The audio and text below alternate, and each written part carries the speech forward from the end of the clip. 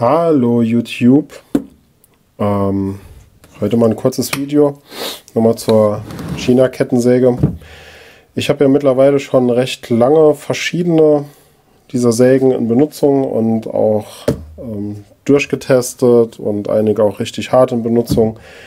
Und ähm, ich möchte euch mal mit auf den Weg geben, was vom Start weg ich immer tausche bei diesen Sägen. Das macht einen himmelweiten Unterschied, ob ihr die Säge aus der Verpackung nimmt, zusammenschraubt und direkt lossägt.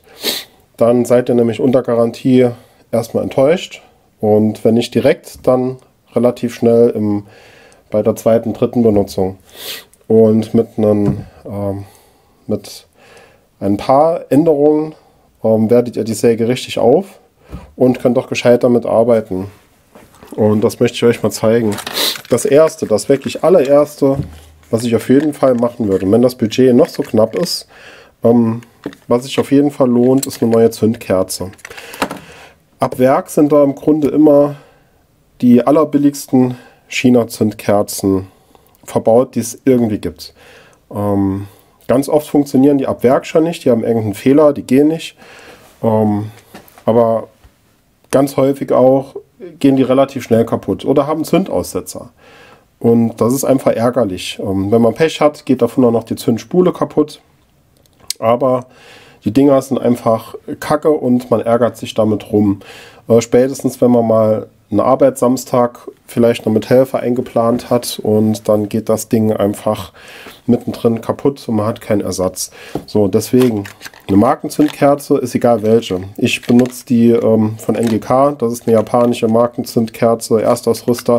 Ich meine, Stiel verwendet die auch. Äh, die Bezeichnung BPM 7A verlinke ich euch aber auch unter der Videobeschreibung. Macht die direkt rein, und nehmt die Originalzündkerze, die drin ist, auf Seite als Ersatz. Wenn die mal kaputt geht, für zum Überbrücken, bis ihr eine neue in der Hand habt, dann habt ihr die China-Zündkerze als Ersatz.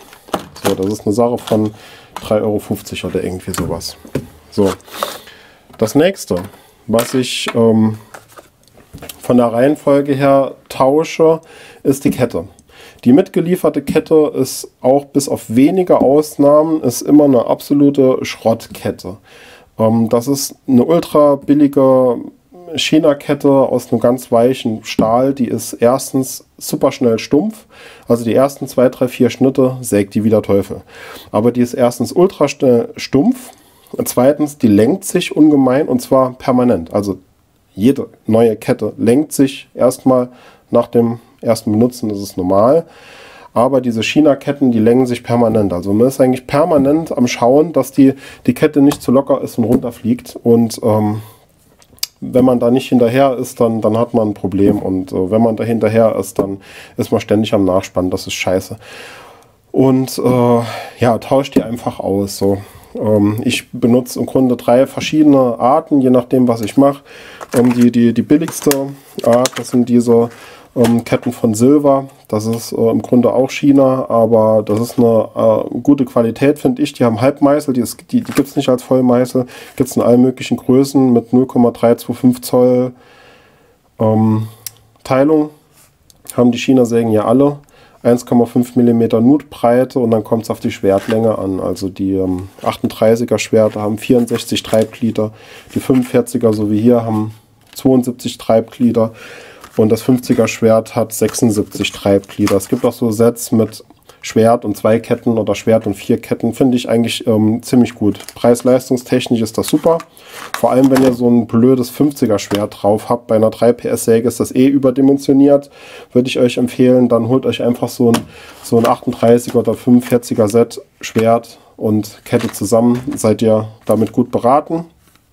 Ähm, dann äh, Vollmeißel in billig nehme ich im Moment ähm, die von, wie heißt das, SWS Forst. Die, die sind auch halbwegs gut, also damit kann man gut sägen. Das ist, ähm, die sind völlig in Ordnung und ähm, vom Preis her sind die auch gut.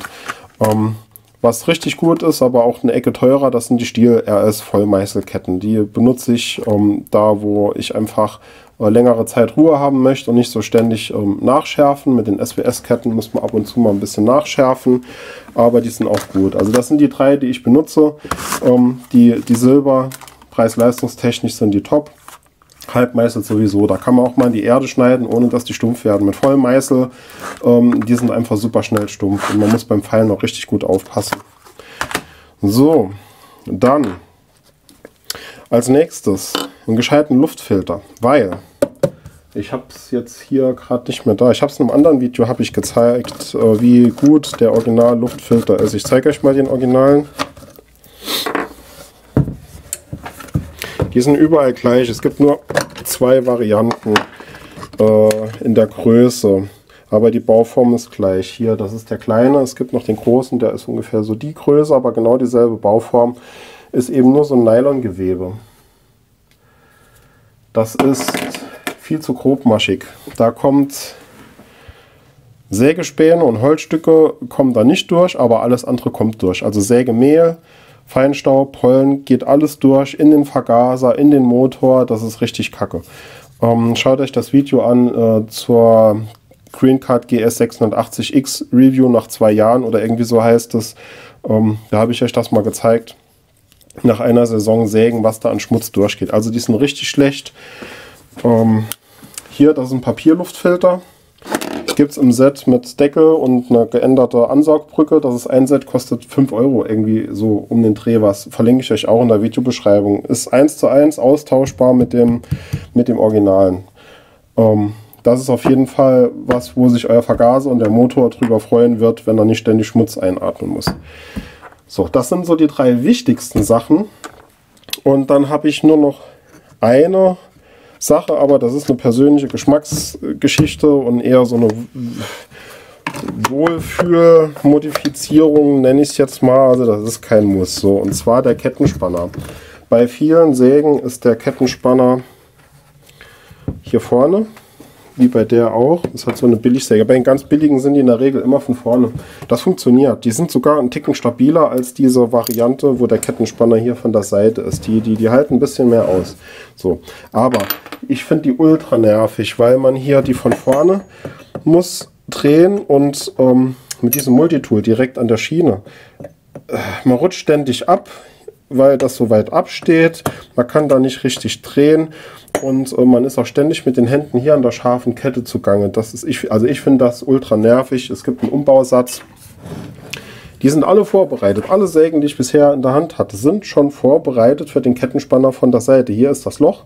Das ist eine Sache von drei Minuten. Das ist hier Ketten, äh, äh Kettenraddeckel ab.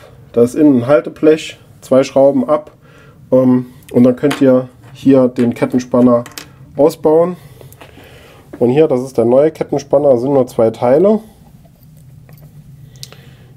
Ähm, hier, das ist dann nachher von hier vorne zugänglich und ähm, dann hat man das auch erledigt. Dann, dann kann man hier bequem von der Seite kann man die Kette spannen und muss hier nicht vorne an der Kette rumfummeln.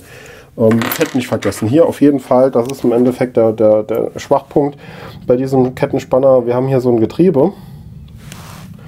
Und wenn man da zu grob dran dreht oder und oder hier nicht ähm, Fett dran tut, dann geht das kaputt. Also da muss man einfach drauf achten. Hier, hier auch, hier kommt auch Fett dran. So, ohne Fett geht der auch kaputt.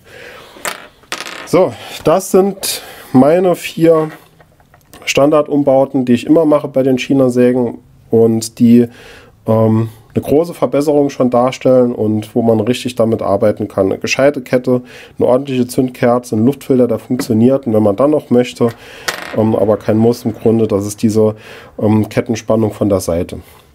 So, wenn euch das Video gefallen hat und ihr mehr über die China-Sägen noch wissen muss, dann schaut einfach in meinen anderen Videos in den Playlists und ähm, lasst ein Abo da, um kein anderes Video zu verpassen.